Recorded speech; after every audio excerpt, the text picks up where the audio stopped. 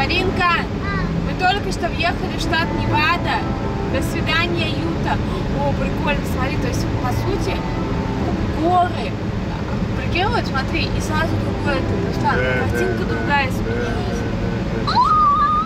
Охереть не встать, а? Все продумали, да?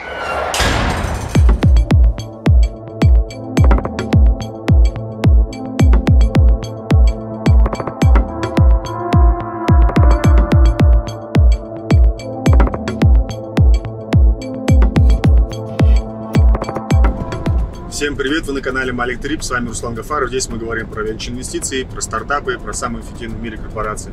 Наш канал, ваше окно в то, что в Кремниевой долине происходит. Мы с семьей живем в Кремниевой долине вот уже два года, и моя задача нахождения здесь понять, как вообще э, работают лучшие корпорации в мире, как создаются технологии, как привлекаются инвестиции. Вот мне это самому интересно, об этом во всем я рассказываю на своем канале. Соответственно, у вас есть возможность получить доступ ко всей этой информации здесь. Поэтому, если вы еще не подписаны на наш канал, делайте это прямо сейчас. Обязательно ставьте нам лайки, если вам нравится то, что мы вам рассказываем. И пишите, задавайте вопросы, либо просто комментарии. И за те вопросы, которые вам больше всего понравились, обязательно голосуйте лайком. Мы будем записывать на них видеоответы в наших следующих выпусках. Как раз этот формат видео я записываю в рамках нашего формата вопрос-ответ э, подписчиков Малик Трип. И вот здесь в пути как раз я отвечаю на те вопросы, которые э, моя команда собрала под нашим выпуском и отправила мне, чтобы я на них как раз записал вот эти видеоответы. Вокруг меня просто нереально красивая природа, и вот это меня все вдохновляет сейчас как раз с вами немножко пообщаться, поэтому обязательно пишите, как вам все то, что мы для вас делаем, как вам такой формат общения, да, и насколько вам вообще заходит формат вот влога, путешествий, насколько вам интересно увидеть, понять, как работает, э, значит, инфраструктура э, не только Кремниевой долины, но и США с точки зрения именно такого отдыха, э, такого на природе, да, вот как мы любим съездить куда-нибудь на природу со своим трейлером. Мы для этого его купили. Вот, многие, кстати, говорят, что я живу в трейлере, да, там нет, я в трейлере не живу, трейлер у меня стоит во дворе, я в нем работаю очень много, мне потому что э, такая, здесь я там чувствую очень круто, вот, и мне говорят, что типа там, э, там живет в трейлере, типа совсем дела плохо, я еще раз повторяю, то есть ну, дела у нас идут хорошо, вот, трейлер новый стоит такой 60 тысяч долларов, вот, мы купили этот трейлер за 40 тысяч 2015 года, за очень хорошую цену, кстати говоря, потому что он в цене не падает.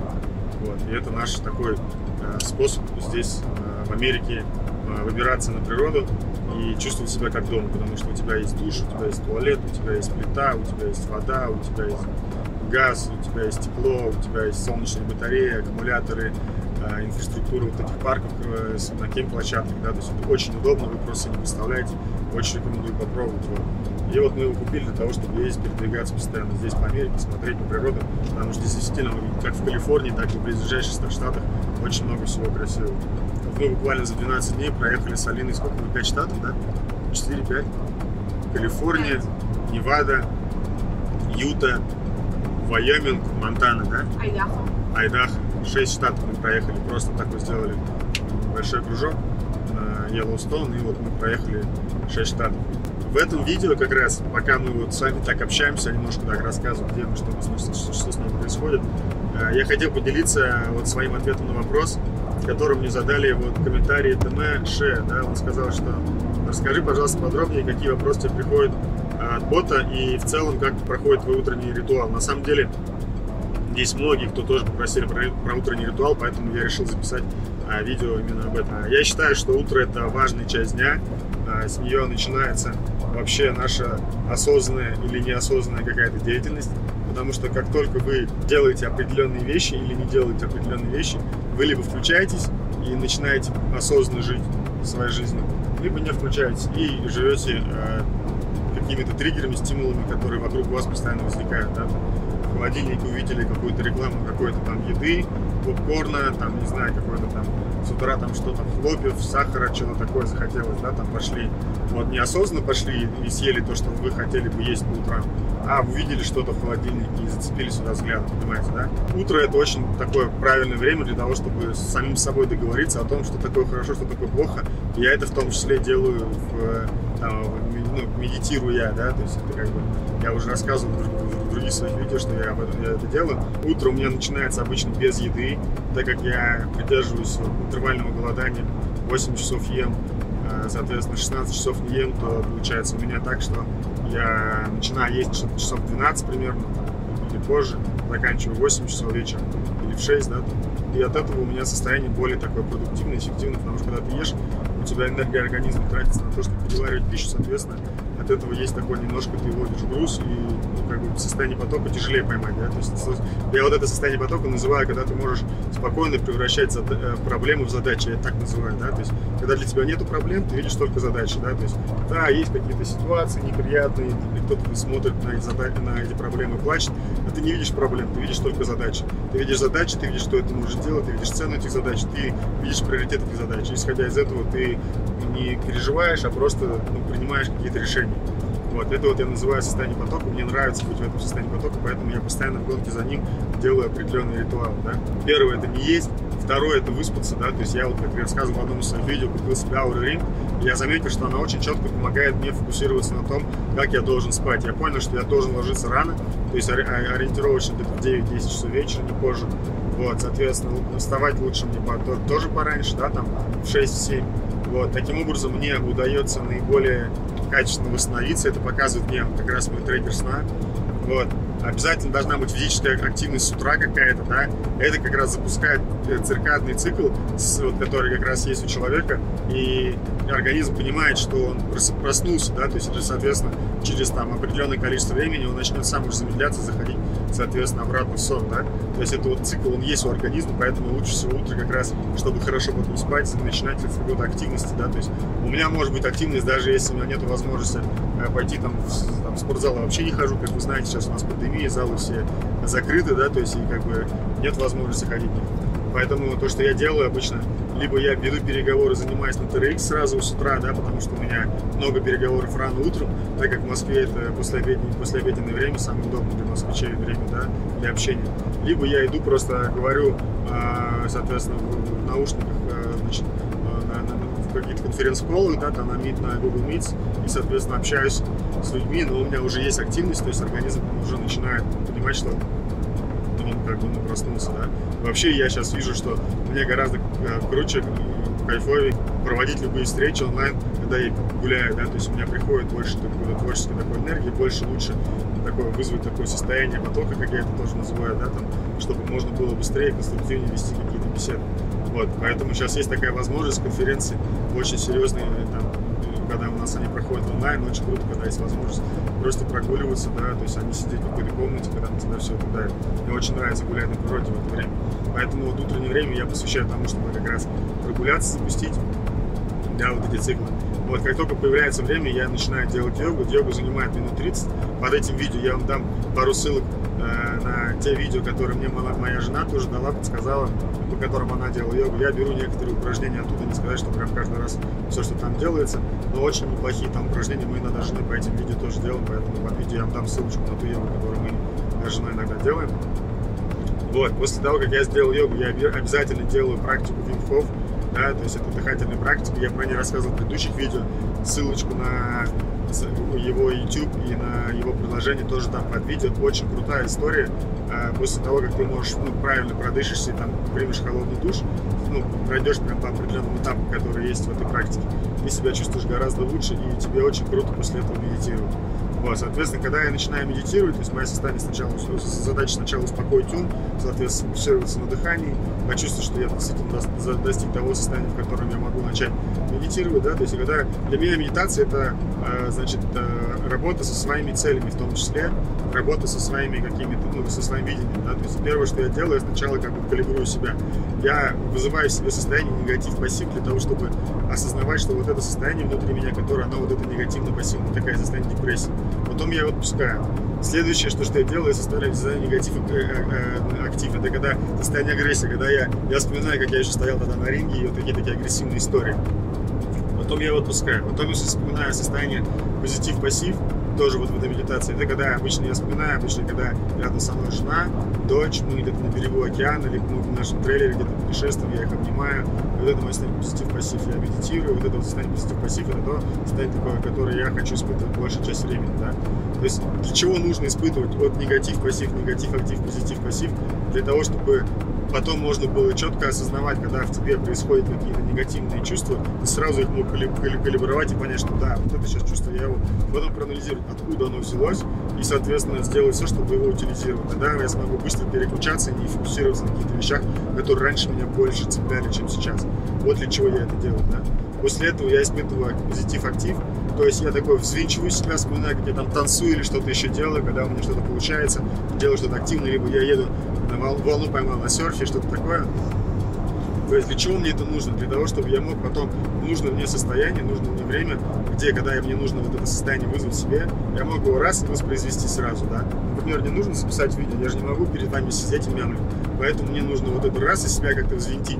И вот э, тренирую каждый день с утра, я могу потом проще ввести себя в это состояние для того, чтобы более э, эффективно закрывать какие-то задачи. Или наоборот, когда меня кто-то хочет прогрузить в какое-то негативное состояние, я благодаря тому, что делаю такую практику каждое утро, смотрю и вижу, что у меня там происходит, если есть какие-то негативные посылы. Да? Вот, это такая утренняя практика медитации. После этого я обязательно стараюсь заниматься английским, если у меня есть на это время. Вот, я занимаюсь три раза в неделю с э, репетитором. Это преподавательница моей дочери Зарины. Очень круто с ней, кстати, заниматься. Ее муж работает, работал в Фейсбуке, до этого работал в Боинг, был инженер-механик. Мы с ними как-то гуляли на берегу океана, общались. Очень крутая семья и очень приятно с ним всегда общаться. А, кроме этого, я использую приложение Ева, очень рекомендую, тоже ссылку оставлю внизу. Прикольно там и слова учить, вот, и себя анализировать. Там очень быстро можно понять, какой у тебя, например, запас слов. У меня оказалось там около 6 тысяч слов заваренный словарный запас, в принципе, то есть, ну, примерно равный, как у меня и с женой, да. Только у меня сейчас вот разговорного языка пока у меня хромает, поэтому мне нужно больше практики. Да, у нее была практика, когда она была здесь в Work Travel, работала в Америке. У меня такой практики не было раньше, поэтому мне надо тоже нагонять эту практику, просто разговаривая, да, и продолжая учиться. Вот, кроме этого, что я делаю, да, то есть работаю со своими задачами, у меня есть задача две э, таких сущности сейчас главные, да, там первое это, соответственно, фокус, в котором я треку все свои задачи. Второе это сейчас жиры, которые мы используем с нашей командой для того, чтобы трекать все, что у нас в команде происходит. Поэтому частенько я залетаю в эти, соответственно, задачники для того, чтобы свой, свой день планировать, да, то есть, соответственно, смотреть, что там, какие у меня приоритеты, какие вопросы ко мне есть и так далее. А, ну, из такого, то, что я делаю утром, наверное, все, да, то есть самое главное, это правильно проснуться, для этого нужна перед, перед, перед йогой какая-то такая короткая зарядка, да, там можно какой-нибудь циклус сделать, потом йога, потом, соответственно, дыхательная практика, практика медитации, соответственно, работа. Очень э, рекомендую еще, если вы не делали никогда практику диспензы, тоже книжку на э, эту ау аудиокнигу, ссылочку дам внизу. Есть такая практика, типа как аудиогид, тоже ты одеваешь наушники, слушаешь, тебя просто гид ведет через определенную практику. Перед этим надо, конечно, книгу сначала хотя бы прослушать, да, чтобы понимать, что за практика и как она работает, да, чтобы понимать этого гида, да, который тебя будет медитации вести. Мы всю информацию тоже под видео вам привяжем, посмотрите. То есть раньше я практиковал ежедневно вот по час 20 перед, ну, вот именно слушать именно вот эту медитацию диспенсер. Сейчас тоже периодически стараюсь э, повторять такой опыт, потому что это действительно очень крутая практика. Вместе вот с, с остальными практиками, которые я делаю утром, дыхание, вот эти моя личная такая медитация, как свой регламент, да. Вот. А, кстати, я же не договорил, да, то есть мы позитив-актив, потом я говорю, э, значит, в себе испытываю чувство благодарности за что-то, чтобы просто понять, что это чувство такой благодарности, это такое чувство, когда ты заземляешься с миром, да, потому что когда ты благодарен, ты, можешь, ты не можешь быть вне, вне в принятии чего-либо, да, то есть чувство благодарности, оно приземляет тебя и делает так, что ты все принимаешь. Вот очень важно уметь испытывать чувство благодарности и за то, что есть, да, там, за то, что у тебя есть, за, за, просто иногда себя благодарить, мир благодарить, да, то есть просто вот заземлиться и понять, что вот, да, все хорошо. Вот это чувство, и уметь вызывать это чувство благодарности, когда вам, там, например, хочется там немножко там, беспокоиться о чем-то и так далее, потому что это такое базовое заземляющее чувство, чувство благодарности, я его в медитации использую каждый раз, вспоминаю.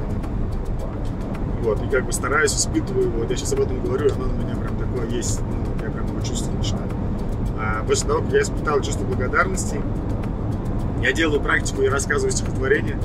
А, вы помните, вы все, конечно, помните, как я стоял, приблизившись к стене минут на 7 Есенина делаю так, чтобы тренировать свой разговорный, а, соответственно, э, язык, да, чтобы э, уметь выражаться, чтобы говорить без, соответственно, там, запинаний помогает мне ну, контролировать то, что я говорю. Не скажу, что я говорю идеально, но, по крайней мере, тренируюсь так каждый день, и это помогает.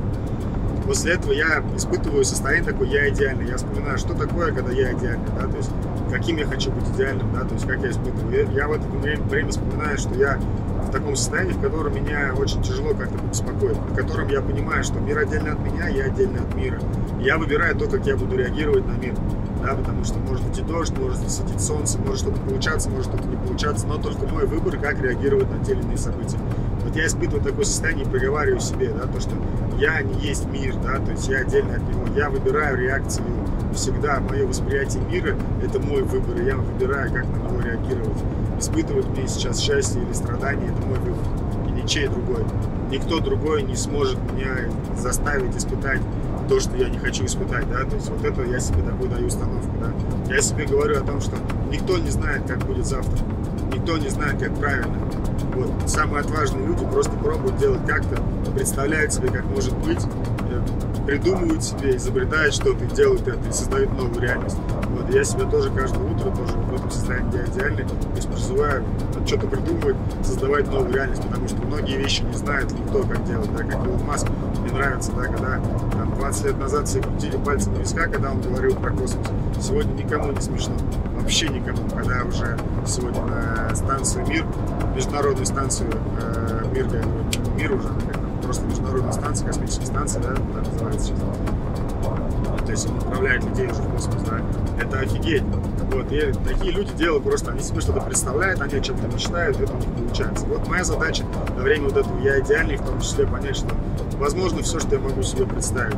И после этого я себе, себя прогоняю через, значит, мою одну вещь на жизнь, которую я вот рекомендовал, тоже книжку «Начни с главного», да, Базан и Келлер написали ее.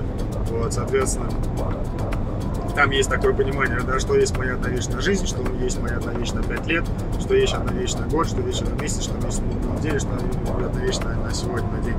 Вот. И, соответственно, я начинаю вот из этого состояния я идеально вспоминать, а что есть моя навечная жизнь. Я вспоминаю это, переживаю это, да, как это будет, когда это случится. Вижу это, я это ощущаю. После этого я говорю себе, а что есть моя навечная когда-нибудь.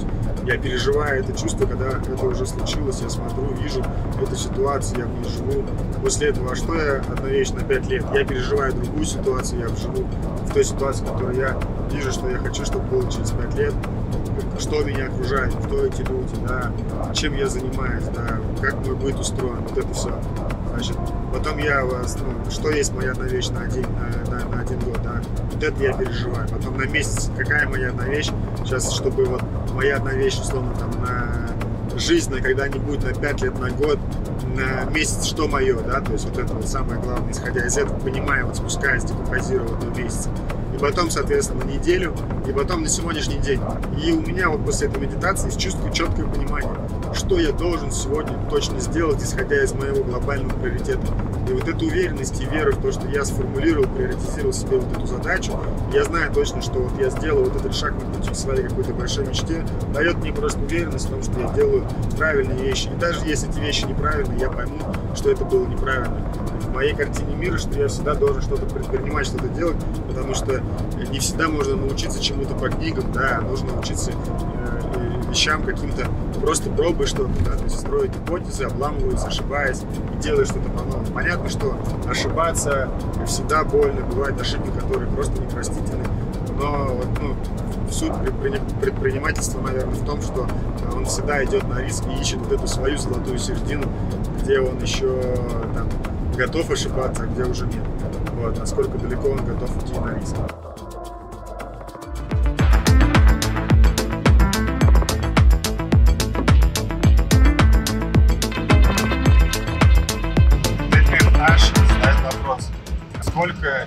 день тебя уходит на ритуал. Медитации, метафоры, внедрение собственных дела, прогулки. Значит, э, давай по очереди буду отвечать вопросы, потому что здесь несколько сразу в одном. Вот, сколько часов в день? Ну, я скажу так, если конкретно вот на этот вопрос отвечать, я думаю, где-то 2 часа примерно, 2-3 часа максимум. То есть э, полчаса у меня уходит примерно на йогу, где-то там 15 минут, там от 15 минут до, до получаса уходит на медитацию. Вот. В идеале я делаю это несколько раз в день, если есть такая возможность. Вот, и плюс еще я вот, ну, стараюсь сделать э, диспенсу, да, то есть самый мак максимум, который я могу уделить ритуалам, где-то 3 часа. Это утренний ритуал. Да, вечерний ритуал у меня занимает там 15 минут времени, не так много, я отвечаю на вопросы. А, вот.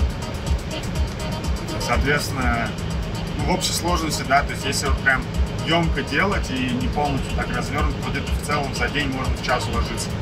Дальше идем, да. Как сильно ритуал помогает в работе? Вот смотрите, да, вот это как раз очень важный тоже вопрос, да, вот этот час, на самом деле, это час.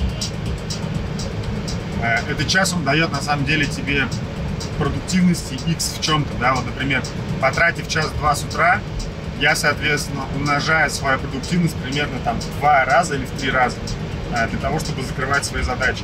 То есть, по сути, вот этот час-два, который ты тратишь с утра на то, чтобы себя привести в порядок, точишь, по сути, другу, ну, по-другому пилу, да, то есть вводишь себя в то состояние, в котором ты наиболее эффективен, эффективен в состоянии потока, в котором ты не видишь каких-то проблем, ты видишь только решения и задачи, которые нужно сделать, ты видишь, э, кто эти задачи может делать, ты видишь, как их можно сделать, то есть ты видишь задачи, тебе все ясно, у тебя нет каких-то переживаний, ты просто видишь на какие-то проблемы смотришь, вот ты не видишь проблем, ты просто видишь задачи. Вот, соответственно, вот для этого, для всего как раз, вот мне нужна вот эта практика. Кроме этого, для того, чтобы вот эффективно эти час-два провести, да, э, с утра, там три в идеале, да, если совсем прям времени много, а нужно обязательно хорошо спать. Потому что если ты не выспался, то все, что ты делаешь, это вот тотал, да, минус 30%. Вот ты, например, там э, сделал там, классную тренировку, там, круто бы там помедитировал, там, э, сделал классную йогу, все, ты молодец, но вот от всех твоих результатов, которые ты сделал вместе со всеми этими практиками, если ты не выспался, минус 30%. Вот, поэтому высыпаться очень невыгодно. И это такая, на самом деле, э, очень интересная история, что если ты не высыпаешься, ты этого не замечаешь, как бы это потом на следующий день опять ты не выспался, еще. И вот ты уже в мире, в котором есть куча проблем, ты не видишь никаких решений. Тебе кажется, что мир весь против тебя, и что непонятно, как все это решать. Вот. На самом деле ты просто не выспался. Я думаю, вы понимаете, о чем вы, о чем я сейчас, да, то есть, и вот умение делать этот баланс между жизнью и работой как раз э, и вот чувствовать это состояние продуктивности или непродуктивности, да, то есть э, отличает, мне кажется, людей, которые э, к чему-то пришли, да, спортсменов или каких-то еще там, ну, видных там, политических деятелей, там, предпринимателей, да, потому что они чувствуют вот эту историю, когда у них есть состояние, в котором они могут что-то создавать, создавать, созидать, творчеством заниматься.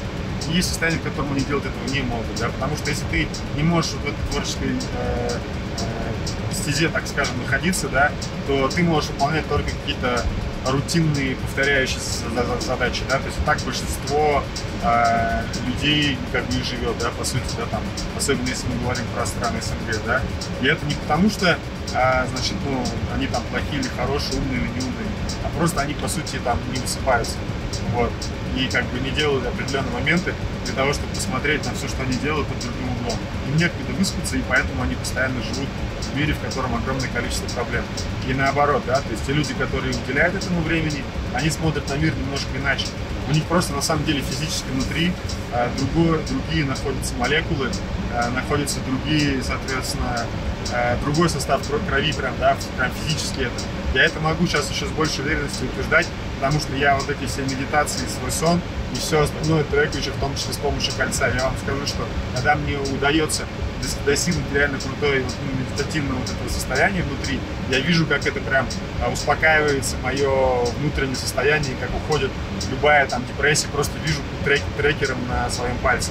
То есть это видно, там есть определенные показатели, я не буду просто сейчас об этом видео там увеличивать, да, рассказывать, как это работает, но там прям видно, как это работает. То есть прям ты видишь, когда медитируешь, я специально включаю трекинг, я вижу, что когда вот я достиг на, на какой-то минуте, я обращаю внимание, на какой минуте какое состояние было медитации. Я вижу, как корреляция есть между моим состоянием и тем, что внутри тела происходит через трекер. То есть фактически, то есть любые состояния это ваше внутреннее вот это вот ощущение, это ваш состав крови. И вы этим можете управлять просто практиками, там, определенным там, количеством, правильным сном, да, там, со всеми рекомендациями, которые вы можете посмотреть у Джо Рогана э, в его подкасте с э, э экспертом о где они говорят. Я вот недавно его посмотрел и еще больше понял, насколько это важно, поэтому под видео мы тоже его ставим. Обязательно посмотрите, и спать надо, короче. Это прям, это прям сто процентов. И часто бывает, ну, кажется нам, что вот мы там сейчас не поспим и все успеем, а на самом деле вот этот минус в нашей продуктивности, он наоборот э, заводит нас в тупик, потому что мы вот в этом состоянии непродуктивно не видим, как решать те или иные проблемы, а видим только там препятствия, да, постоянно. Вот поэтому нужно очень круто управлять, особенно когда вот сейчас кризисные времена, нам все хочется успеть, у всех есть такая история, да, там все горит, туда-сюда, вот, но высыпаться надо, это очень важно. Вот, дальше, значит, как сильно ритуал помогает тебе в работе? Ну, я вам сказал, да, то есть, что, по сути, это единственная возможность быть в том эффективном состоянии, в котором ты не видишь проблемы, а видишь только решение задач. То есть, и это очень круто. Я хочу смотреть на мир только через такую призму, через такие врата восприятия. Я не хочу видеть никаких проблем, я не хочу видеть нерешаемых ситуаций.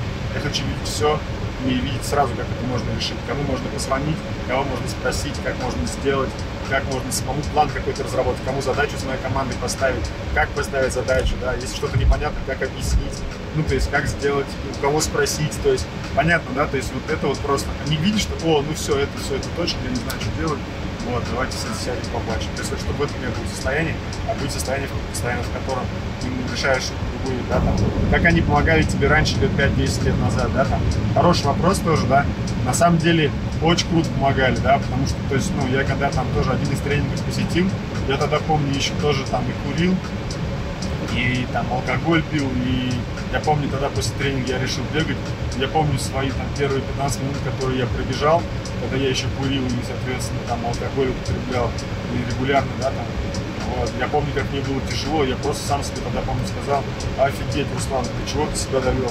Ты же там раньше спортом занимался, и у тебя очень все хорошо получалось. Вот. И после этого меня как раз вот тоже, э, я понял, что нужно делать свой регламент. Я просто, помню, у меня был тогда еще не было гаджетов, у меня был такой маленький клочок бумаги, который облеплен был скотчем, на этой бумаге были написаны вещи, которые я должен сделать каждый день. Там 5-6 пунктов, да, там должно быть. На одной стороне вот эти, э, значит, мой регламент, а на другой стороне я помню то, ну, какие-то мои цели и как я должен выглядеть, чему я должен прийти. Вот я вот тоже, да, то есть э, описывать себя. И это всегда было в моем бумажнике, я носил, ходил с этим. И если я о чем-то забывал, какие для меня важные сейчас приоритеты, я всегда мог открыть и посмотреть. Сейчас это все то же самое есть, только в электронном виде, да. Вот. И это очень круто для меня сработало, потому что я, в отличие от всех остальных которые, людей, которые меня окружали, я держал фокус на чем-то. Потому что люди сейчас за счет того, что вот очень сильно развит маркетинг и продажи, да, то есть они постоянно вокруг них все бренды вот там как сыры, все идут, то есть все люди там бегают за какими-то фантиками, условно, там машину купить, квартиру, путешествие, что-то еще. Не забывает, ну, главное заниматься, да, там, планировать свою жизнь, планировать свои, соответственно, там, какие-то там результаты, достижения. Вот, и постоянно в беготне, какой-то суете, непонятно куда, на, просто на инстинктах таких, как общих статус, да, там. Вот. И, соответственно, самое простое, что можно сделать для того, чтобы не быть со всеми, это просто определиться, а что ты хочешь вообще, и как бы выписать те вещи, которые ты будешь делать, чтобы приблизиться к этой цели. Вот, и это я сделал, это для меня очень круто сработало. Стал ли ты сейчас меньше уделять времени на ритуалы, чем несколько лет назад? Стал больше уделять. Я начинал там с 15 минут, с получаса. Сейчас, видите, там уже у меня час-два. То есть я сейчас больше, потому что я понимаю, что чем ты лучше подготовишься, тем ты более эффективно сделаешь. То есть, может быть, самое, там, ну, э, мне, мне нужно в день всего лишь 15 минут, да, возможно, того, чтобы принять внутри себя несколько правильных решений, да, зафиксировать эти решения, написать эти решения там за эти 15 минут каким-то людям правильным, так, чтобы они поняли. И все, и после этого нету проблемы, которую, например, я мог там пытаться решить сам. А я просто сформулировал задачу правильно, так, чтобы ее понял тот, кому я ее делегировал, да, и находясь в каком правильном состоянии. И, соответственно, делегировал, и вот, я избавился от проблемы.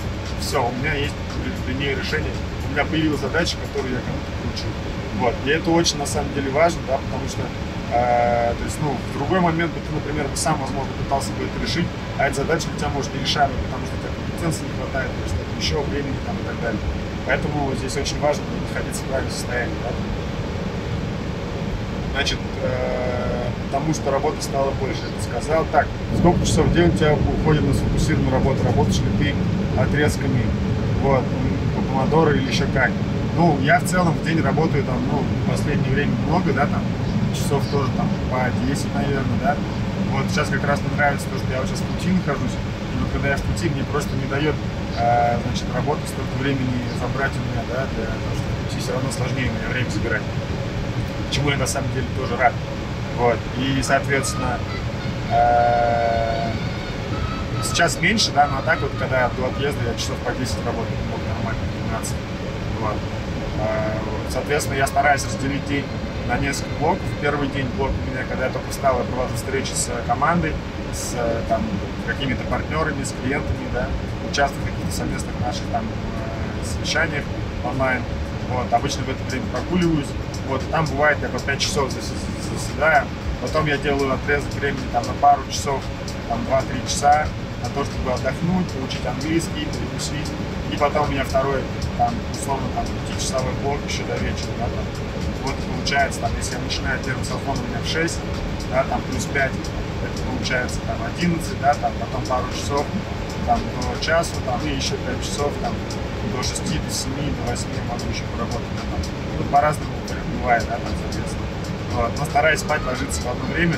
Сейчас у меня это 9.30, но пока что плохо получается, особенно в. Вот. Приходится чуть позже потом вставать. Значит, вот, сфокусированную работу я рассказал. То есть я делаю так, обманываю так организм, да, там, проснулся, поработал интенсивно, отдохнул, замедлился максимально как можно. Если можно, вздремнул, вздремнул, потом встал, еще раз такой сделал скачок, и вечером опять замедлился и пошел сон. Так вот у меня лучше работает, чем если ты себя пытаешься ну, целый день в таком высоком ритме движения, это очень сложно бывает, вечно подгораешь.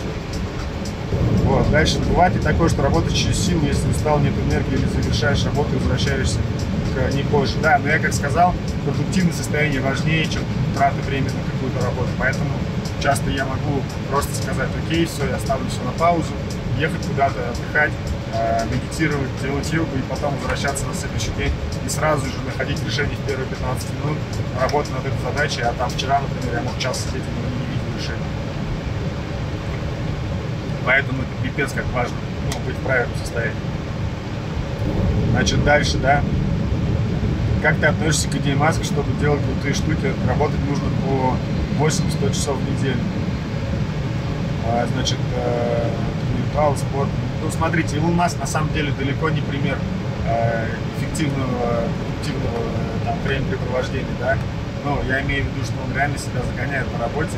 Я не знаю, это как бы выбор каждого, да, то есть это как в большом спорте, да, люди, когда идут в большой спорт, они понимают, что большой спорт это путь к инвалидности в первую очередь, да, потому что э, там рано или поздно придется делать то, что тебя будет приводить просто постепенно какой-то инвалидности, да, это допинги, это какие-то сверхнагрузки, много всего. Также и в предпринимательстве, да, здесь нужно тоже искать и понимать, куда ты хочешь в итоге прийти, к чему, да, и, с каким здоровьем и, и у всех на самом деле разные организмы. Я не знаю, Маск, насколько он действительно он другой на самом деле.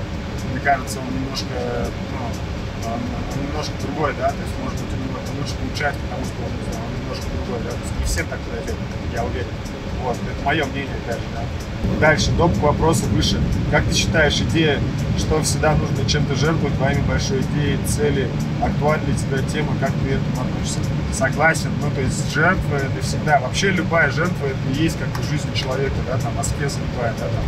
Вот, ну то есть если мы начинаем себя ограничивать от чего-то, мы всегда становимся лучше, да, мы ограничиваем себя от еды, более осознанно начинаем к этому подходить, наш организм становится более, э, соответственно, там, э, эффективным, да, здоровым. Мы себя ограничиваем от, соответственно, бесполезного контента, от всяких там глупых YouTube-роликов и непонятных Instagram-лент, и, соответственно, наша жизнь становится более, соответственно, там, ну, качественной, да, от этого просто от того, что мы ограничили себя от чего-то. Поэтому ограничение ради чего-то большего, это как часть жизни. Надо всегда ну, понимать, чего ты хочешь и что тебе для этого нужно, что тебе мешает это достигать, да, и видеть самое главное не то, что нужно делать, а то, что нужно не делать в первую очередь, да, то есть отказаться от чего-то, что нужно прямо сейчас отказаться. Вот, я отказаться от отказа от чего-то, это прям крутая история, я люблю это делать. Иногда тестирую, пробую себя на новые какие-то истории. Я очень много пробую, да, и я очень доволен тем результатом, который я получаю благодаря тому, что я что-то новое постоянно пробую. С питанием экспериментирую, с какими-то новыми практиками, упражнениями, потому что за то количество времени, которое я этому уделяю, да, там несколько последних там, десятилетий, я нашел много всего интересного, что встроил свою память, у меня эта круто работа дополняла.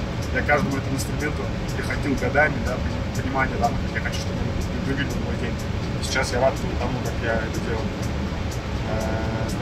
Так, возможно быть в балансе по всю жизнь и делать большие драки. Ну, конечно, конечно, возможно. Конечно, возможно. Ну и на, в конце, да, человек пишет, значит, как всегда, благодарность Руслану и всей команде Малик Трип. Ребят, мне тоже очень приятно с вами общаться. Обязательно вступайте в наши телеграм-каналы, телеграм-чаты. У нас там есть наш такой онлайн-комьюнити Silicon Crowd, мы там общаемся, да, по недвижимости, по искусственному интеллекту, по разным другим есть направления, чаты. Вот, ну и наш общий телеграм-канал, где мы делимся всеми инструментами, инсайтами, которые мы сейчас получаем во время работы и участия э, в наших как раз онлайн-интенсивах, мастер-майндах. Вот, там всю эту информацию мы размещаем. Вот, поэтому обязательно ищите, вступайте, давайте, задавайте вопросы, э, давайте придумывать какие-то новые форматы общения с вами. Я с удовольствием э, рассмотрю любые ваши предложения. Мне очень интересно с вами общаться. Можно делать какие-то прямые эфиры, может быть, да, где можно в формате вопрос-ответ что-то делать, да. Вот. Ну и не забывайте, что этот э, формат видео мы пишем в рамках, значит, формата, да, ответы подписчикам Malik Trip, да, ответы на, ответы на вопросы подписчикам Malik Trip.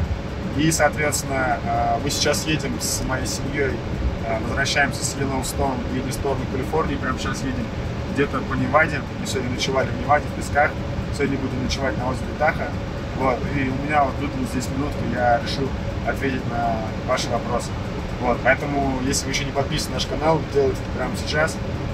Вот, обо всем, что вокруг меня сейчас происходит, нашем путешествии мы сделаем отдельные выпуски, расскажем, покажем, как мы отдыхаем э, здесь, в Америке, как время проводим, как устроена инфраструктура. Поэтому подписывайтесь и задавайте внизу ваши вопросы. На те вопросы, которые соберут большее количество лайков, мы дадим видеоответы, автору подарим книгу. Поэтому задавайте свои вопросы, голосуйте за те вопросы, которые понравились. Давайте поддержим этот диалог, общаемся, э, продолжаем. И в том числе давайте тоже в чатах, в нашем телеграм-канале выступайте и давайте двигаться, давайте общаться. До встречи в Америке. Вот вам музончик, кстати, такой прикольный.